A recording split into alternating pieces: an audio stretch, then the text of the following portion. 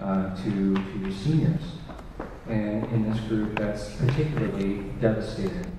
Uh, and for me, it's really tough because I'm a senior too. Uh, the only difference is I don't get to graduate and leave. Um, and uh, these, uh, it's hard, it's, it's difficult for me to talk about this senior class um, because, uh, you know, I've been with them for four years. We, we started at West together and I've really watched them grow, not just, not just as musicians. And some of them, I can't believe how they've grown as musicians. It's, it's really, really phenomenal. Uh, but I, what's even better is I've, I've, watched them grow up and mature and uh, become really, really fine uh, young adults. And um, so this has been uh, a four-year journey with the class of 2016. And these are people that I really, really enjoy, and I'm here to say tonight that I am going to miss uh, terribly uh, as they graduate here in a couple of weeks.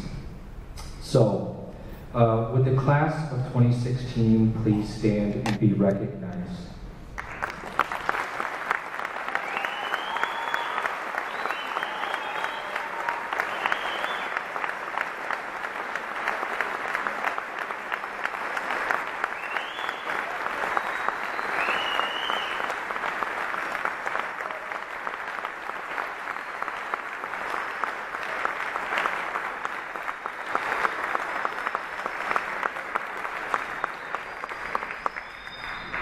They love you too.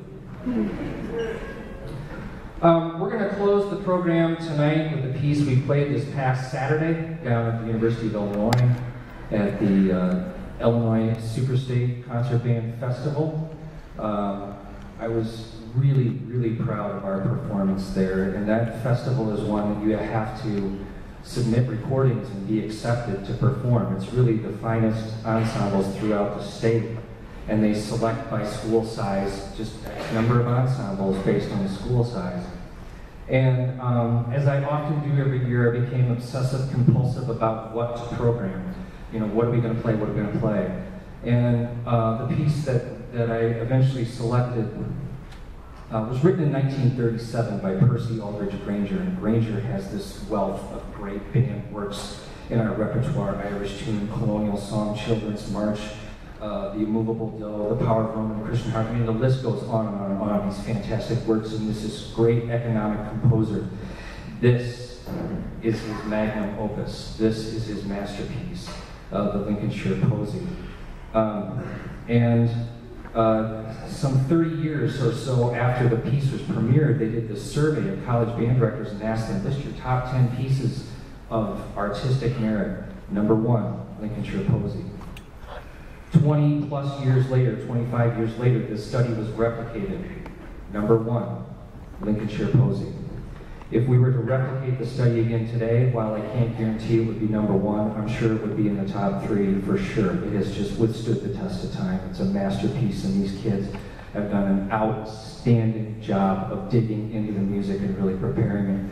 So this is Percy Grainger's Lincolnshire Posy, all six movements.